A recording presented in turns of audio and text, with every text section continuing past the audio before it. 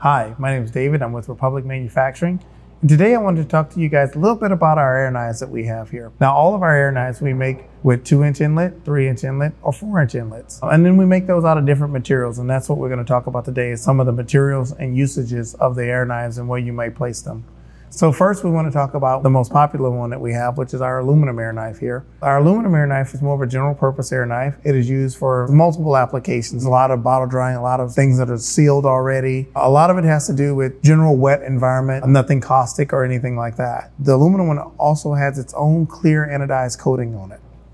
The next one we want to talk about is our stainless steel air knife here, which is 304 stainless. This particular air knife is made for your caustic wash environments, whether it's the caustic soap or battery drying with acid. This would be the material you'd want to use for your air knife.